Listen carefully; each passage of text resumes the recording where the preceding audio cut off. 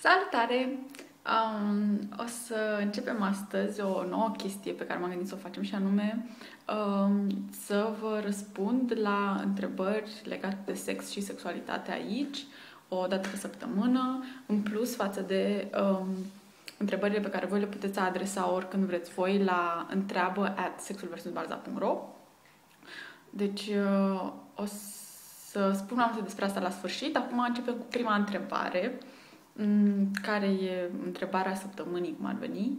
Uh, și o întrebare pe care o primim foarte des uh, uh, pe întreabă at sexulversusbarza.ro uh, și anume foarte mulți băieți, destul de mulți băieți își fac griji că um, se masturbează prea mult și um, specific, o chestie specifică despre care e vorba um, ok, deci le teamă că um, masturbându-se prea mult sau ce consideră ei că este prea mult, uh, venele de, venele de pe penis se vor sparge sau vor uh, exploda sau se va, se va întâmpla ceva rău cu ele sau... Ok. Um, și în legătură cu asta am un răspuns. De fapt, răspunsurile care vor fi, care vor veni aici, vin din partea mea, dar și din partea medicilor uh, de la Mary Stops International România. Deci eu voi primi întrebări de la voi, mă voi consulta cu medicii și voi da răspunsul direct aici. Se sparg venele de pe penis dacă te masturbezi prea mult. Asta era temerea și răspunsul este nu. Asta aparține așa unui soi de, uh, cum să zic, un mit, un mit din ăsta urban legat de masturbare. Nu se întâmple chestia asta pentru că um, masturbarea și ejacularea sunt lucruri normale. Așa cum, de exemplu, uh, nici plămânii nu-ți explodează pentru că respiri prea mult sau uh, nici vaginul fetelor nu se lărgește pentru că fac prea mult sex. Adică chestiile astea sunt toate mituri. Um, deci n-ai motivul să-ți faci griji, n-ai nimeni motiv să-ți faci griji că venele de pe penis vor exploda pentru că faci sex prea mult sau pentru că te masturbezi prea mult sau că ejaculezi prea mult. Care e treaba cu venele astea?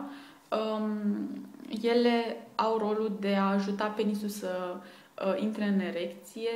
Prin venele astea uh,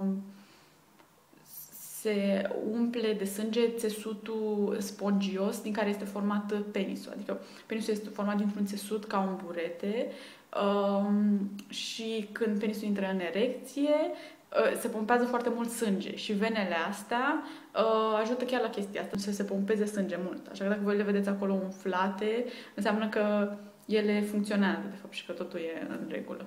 Așa cum în penisul băieților e pompat sânge atunci când băieții sunt excitați, la fel și în clitorisul fetelor este pompat sânge când ele sunt excitate. Um, da, deci n-ar trebui să ne facem griji. În legătură cu masturbarea, foarte mulți băieți uh, se întreabă dacă se masturbează prea mult, dacă vor avea probleme când vor fi mai mari și vor vrea să facă copii, uh, pentru că se masturbează ce consideră ei prea mult. Masturbarea și infertilitatea n-au nicio legătură. Asta e la fel așa un mit din ăsta vechi uh, care spunea că dacă te masturbezi prea mult nu vei putea face copii, dar uh, chestia asta nu este din punct de vedere științific adevărat. Despre cât de normală este masturbarea, putem fi de acord că foarte, foarte multă lume se masturbează și um, pot să vă dau niște um, statistici în, din punctul ăsta de vedere um, din Statele Unite ale Americii, dintr-un studiu foarte mare, um, așa, un studiu de bază în state. Deci, și o luăm pe vârste, da? Fiți atenți puțin pentru că e un pic așa cu numere, dar uh, e important, pentru că în felul ăsta înțelegem așa mai multe lucruri cât, despre cât de normal sunt chestii sau cât de anormal sunt chestii. Ok cât de multe persoane se masturbează. Deci, tinerii între 14 și 15 ani, între 14 și 15 ani, da, se masturbează 62% dintre băieți și 40% dintre fete. Între 16 și 17 ani. Se masturbează 75% dintre băieți și 45% din fete. Apoi, între 18 și 19 ani, se masturbează 81% dintre băieți și 60% din fete. Între 20 și 24 se masturbează 83% dintre băieți și 64% din fete. Da, asta spune studiu.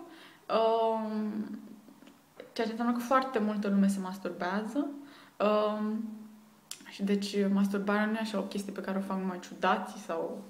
Uh, da, e o chestie pe care o face, face multă lume și um, e o chestie naturală, te ajută să îți descoperi propriul corp um, și mare nu trebuie să îți faci foarte multe griji în legătură cu chestia asta. Da, ok. Um, Păi cam atât pentru prima întrebare. Um, puteți să lăsați întrebări, alte întrebări puteți să le lăsați în comentarii uh, sau să scrieți pe întreabă at sexulversusbarza.ro și eu o să revin săptămâna viitoare după ce m-am consultat cu medicii de la Mary Stops International România și eu o să răspund la una, două întreb- dintre întrebările voastre. Um, urmăriți-ne pe Facebook, suntem super activi acolo și urmăriți-ne, urmăriți-ne pe pagina noastră sexulversusbarza.ro Pentru că acolo sunt nu numai videouri, dar și clipuri, nu, nu numai videouri, dar și texte multe și um, da, e cool, e util, uitați-vă. V-am pupat, ne vedem săptămâna viitoare.